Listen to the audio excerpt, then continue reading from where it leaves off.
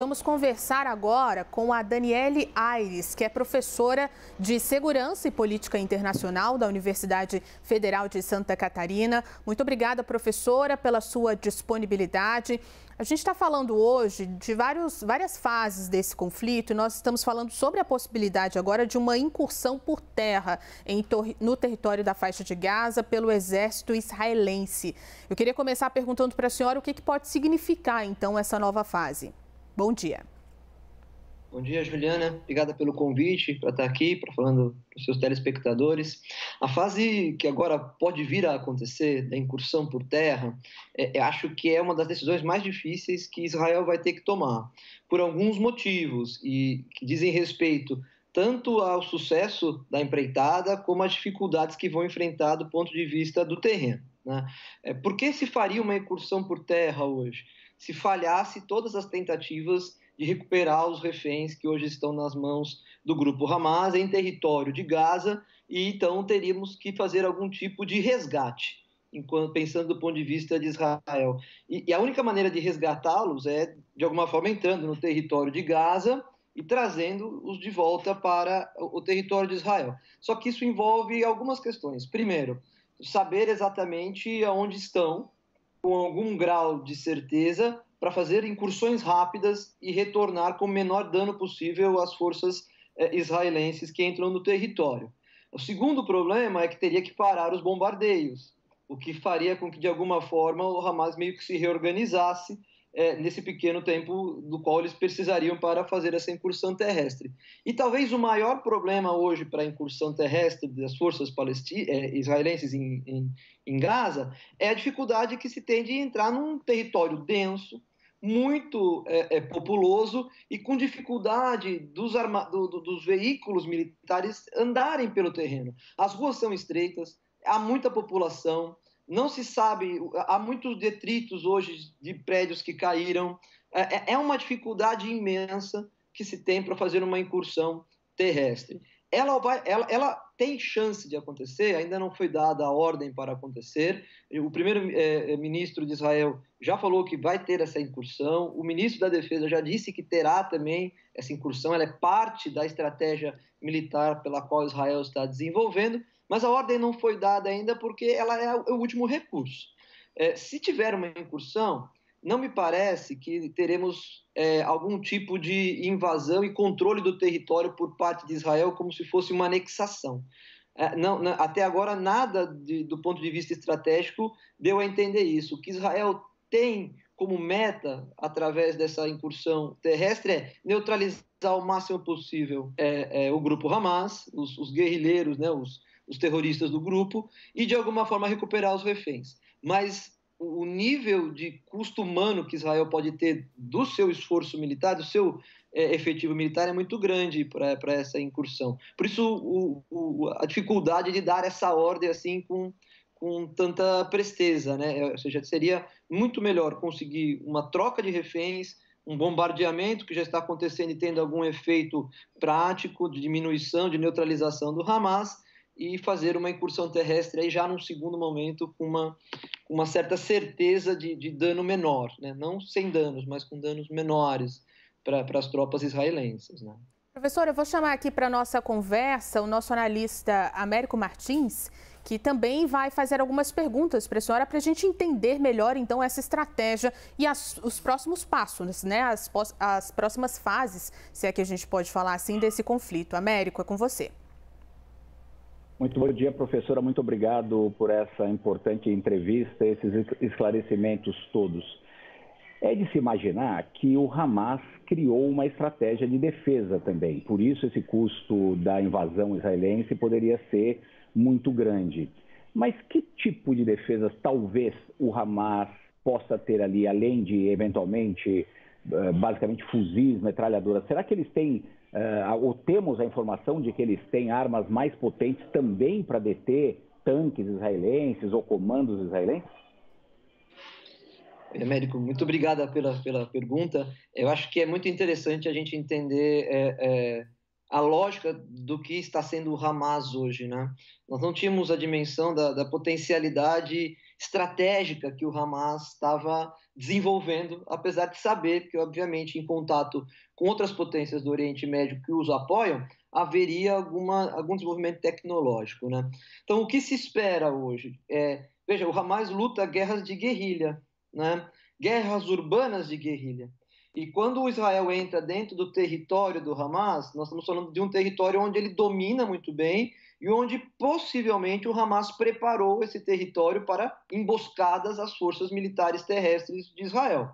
Então, para além de armamentos como fuzis, como granadas, possivelmente até zonas com minas, isso não dá para saber se vai ter ou não, mas zonas onde só o fato do exército passar pode sofrer algum tipo de, de, de abalo, há pontos de emboscada emboscadas que podem ser feitas, com, você imagine, um, dois tanques com um efetivo aí de 20 pessoas, você fazer uma emboscada com 100 é, é, é, membros do Hamas numa tentativa de é, é, fazer algum tipo de ataque a esse esforço militar por terra. Né?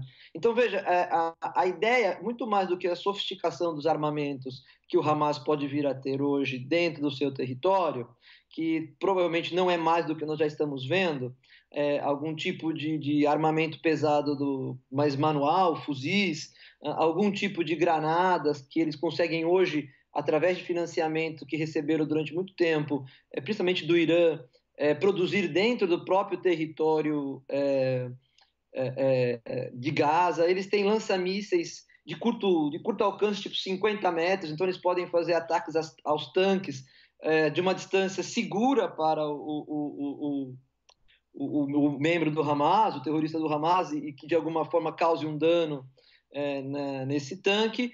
Mas mais do que todo esse efetivo é o conhecimento do terreno. É o conhecimento do terreno e como ele pode vir a, a, a fazer com que, depois que o exército israelense entre, não consiga sair. E aí, quando ele não consegue sair, talvez seja esse. Ele não consegue recuar as suas fronteiras e, de alguma forma, se reorganizar para contra-atacar de novo. E aí a, de, não, nós não teríamos 130 reféns, nós passaríamos a ter alguma coisa como mais, porque esses soldados, se tivessem impossíveis de se deslocar de volta para o território israelense, ficariam dentro de Gaza e estariam, obviamente, à mercê de ser executados ou, de alguma forma, a ficar como reféns juntar-se aos grupos de reféns que hoje foram levados a Gaza. Então, é, é, é, muito delicado tudo o que pode sofrer. Mas sobre, é, se me permitem, uma rápida fala sobre a questão do, do, do financiamento do, do, do Hamas e como o Hamas está se rearmando com algum grau de sofisticação, eu acho que vale a pena a gente entender muito o que aconteceu nos últimos anos é, em relação a, a, a como esse dinheiro chegou é, até o Hamas, para que o Hamas pudesse não só é, receber armamento pelos seus túneis, né? Muito se fala de, de a, a armas de grande calibre, mísseis, sistemas de antiaéreos que são contrabandeados para dentro do território de Gaza através dos túneis. Eles são contrabandeados em pedaços, depois montados em Gaza, né? Mas há também uma rede muito forte, e isso tá, tá os analistas estão tentando mapear melhor, de, de financiamento via criptomoeda. E essas criptomoedas, de alguma forma, sendo capazes de manter um custo econômico de sobrevivência desse grupo dentro do território. Se a sociedade civil hoje, a população está sem água, sem luz, sem energia é, e com recursos para alimentação muito é, escassos ou quase nulos, há uma, uma brecha aí de que há um recurso econômico que pode sustentar o Hamas, tanto do ponto de vista de manter um efetivo claro de recurso militar, como de poder manter-se resistindo aos ataques com um certo grau é, é, de sobrevivência para os seus é, é membros, né? Então, é, a lógica da, desse ataque muda muita coisa dentro do, da conflitualidade. Por isso que é muito uma decisão muito difícil por parte de Israel adentrar o território é porque não é mais o Hamas que se conhecia. E se houve alguma falha de inteligência no, no, na, na, na, inteligência de Israel, é, a falha está em tentar entender como se deu esse desenvolvimento, não partindo do pressuposto que era um grupo com restrições econômicas graves ou com, com uma prática constante só de lançar mísseis que o domo de ferro de Israel já poderia é, neutralizar.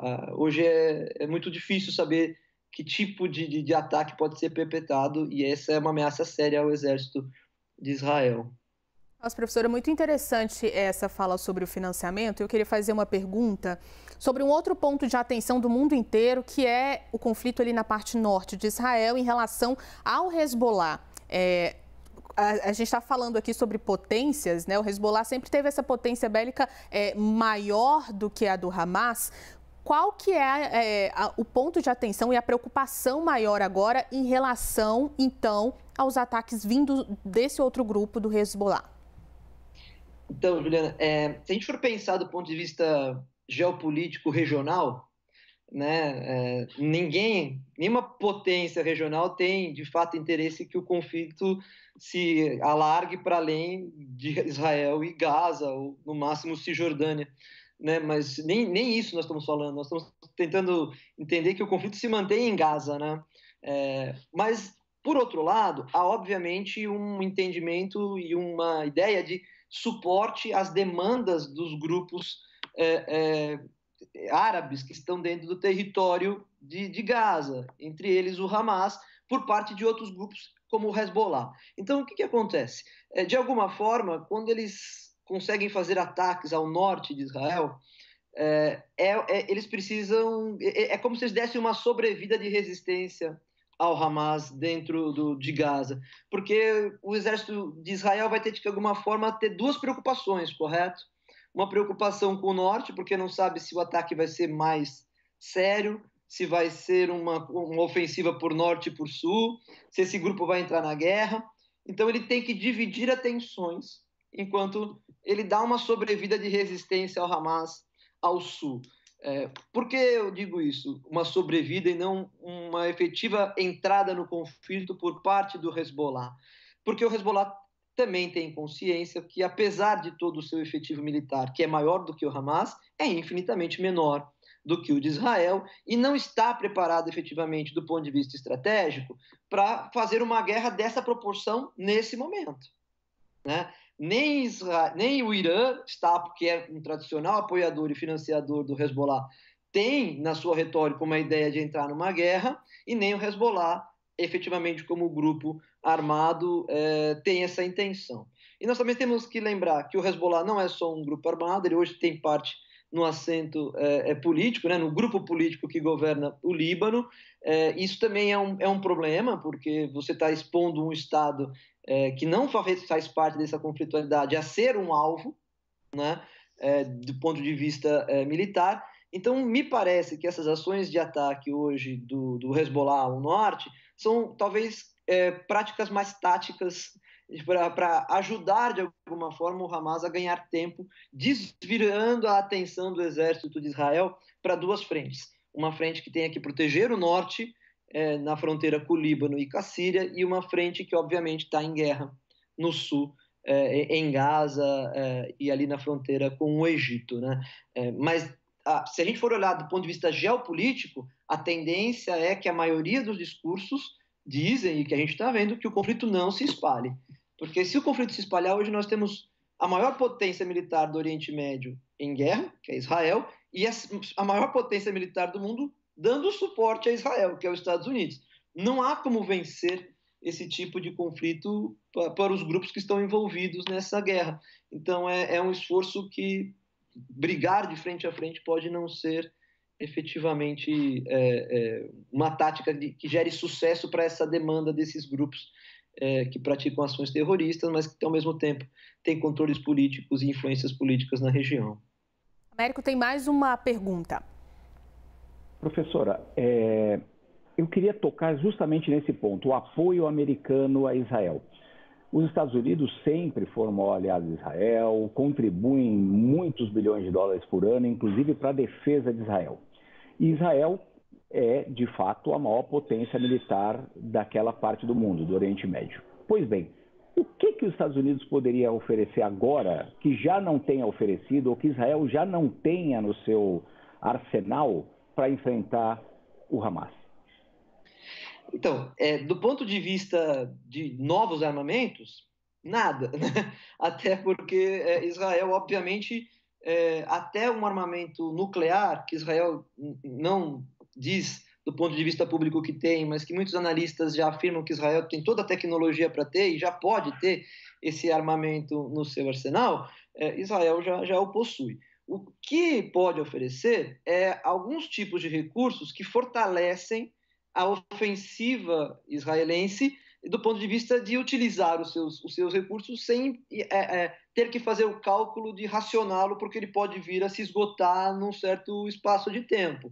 Por exemplo, ah, vamos usar uma quantidade X de mísseis para atacar é, é a Gaza, e eu posso não ter a mesma capacidade de repor esses mísseis do que eu já tenho aqui no meu, no meu arsenal. Eu, eu não preciso repor reconstruindo esses mísseis ou fabricando, posso ter a ajuda de, de dos Estados Unidos para me fornecer os que ele já tem, ou para a própria indústria bélica americana fazer esse serviço para mim me, e continuar garantindo os meus recursos militares é, nesse sentido. Agora, há uma outra questão que pode ser muito importante, que é o poder naval americano e como o poder naval americano pode ser o sustentáculo de uma incursão por mar ali na região. Ah, óbvio que, que ninguém vai travar uma guerra no mar, né? Porque Gaza nem Cisjordânia tem recurso marítimo. Mas o fato, como nós já vimos na guerra da Ucrânia, é que a maioria dos ataques aéreos são perpetrados por navios ou lança-foguetes que estão acoplados a navios no território marítimo desses estados. Né? Então, ou seja, a toda a força marítima dos Estados Unidos já uma parte dela já está deslocada lá, um porta-aviões enorme já está é, deslocado para a região é, é, do mar ali na, na que faz né, frente à faixa de Gaza. E esse é mais um, um recurso no qual é, é está, os Estados Unidos pode fortalecer o já enorme poderio de Israel. É, e é muito importante do ponto de vista da retórica também e da dissuasão é, o fato de você ter a maior potência militar ao seu lado. Né? É, você pode não ter nenhum recurso, você pode ter algum tipo de recurso que, é, é, que a, a, grande potência tem e você não tem, e como ela é tua, o teu aliado é, efetivo de primeira hora, ele pode disponibilizá-lo automaticamente a você. Eu acho que há uma coisa aqui que é muito interessante quando a gente fala da relação Israel e, e Estados Unidos. Né? Nós vimos que o esforço dos Estados Unidos em apoiar incondicionalmente Israel é ao ponto do Anthony Blink estar hoje em Tel Aviv é, é, fazendo, né, em Jerusalém, fazendo é, conversações com Benjamin Netanyahu. Né?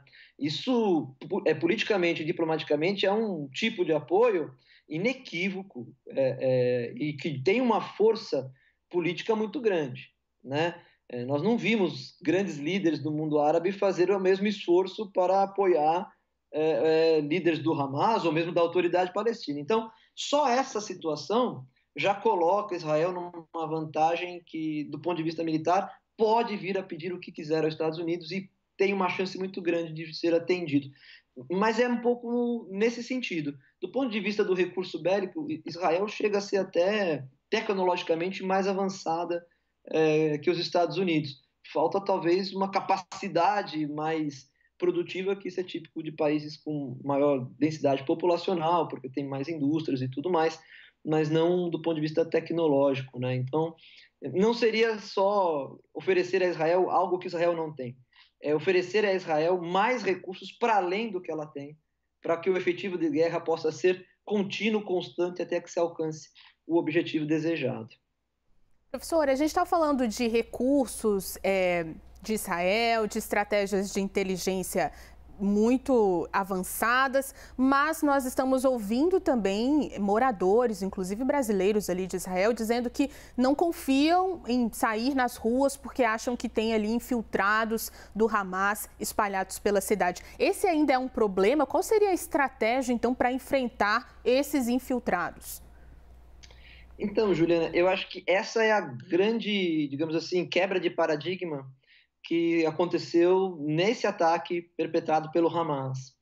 É, antes, os ataques eram feitos com os foguetes, o domo era, de alguma forma, é, esses ataques, existia um ou outro ataque individual, é, e havia uma sensação enorme de segurança no território de Israel, pela crença, e eu acho que é uma crença efetiva e verdadeira, na capacidade da sua inteligência e das suas forças militares.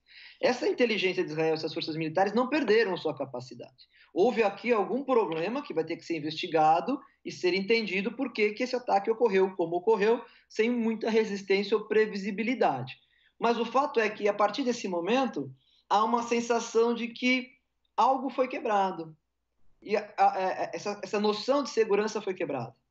Então, é, é, difícil, no curtíssimo espaço de tempo que nós estamos vivendo, que é seis dias de guerra, cinco dias de guerra, é, que de alguma forma se volte a ter uma percepção de segurança é, grande, uma percepção de segurança que faça a população poder voltar a ter algo perto da sua vida normal antes do ataque. Né? Então, não dá para garantir se há ou não há infiltrados do Hamas hoje dentro do território. Um dos grandes é, questionamentos que a população civil faz hoje que a gente ouve um pouco dos relatos, conversa com pesquisadores que estão no front, é, a gente não sabe distinguir, olhando para as pessoas, quem pode ser da faixa de Gaza, quem pode ser de Israel. É, é, então, obviamente, todo mundo, para mim, me parece um suspeito. Né? É, essa sensação ela vai perdurar durante um tempo ainda. E ela só vai se resolver quando, de alguma forma, Israel conseguir é, evitar o contra-ataque do Hamas às suas ofensivas. É, e, e, isso leva tempo, essa neutralização leva tempo. Então, não há muito o que fazer dentro do território. O que há que fazer dentro do território é garantir que nenhum tipo de ataque possa vir a ser sofrido novamente. Né? E se ele for sofrido, de alguma forma, é, é ser é, é rapidamente neutralizado. Do contrário, é, a gente fica tendo que, de uma forma, é, é, esperar que a situação é, tenha uma, um, um, desfecho que seja efetivamente, é, é, digo assim, corroborado pela sociedade. É, que não é o desfecho de ataque a Gaza, é um desfecho de reconstrução de uma ideia de segurança dentro do território nacional de Israel. isso leva tempo, isso é, é, é um processo de médio a longo prazo. Muito obrigada, professora. Nós conversamos agora com Daniele Aires, professora de Segurança e Política Internacional da Universidade Federal de Santa Catarina, que nos esclareceu estratégias importantíssimas desse conflito. Muito obrigada, professora. Eu que agradeço. Obrigada pelo convite e a continuação de um excelente trabalho para vocês hoje.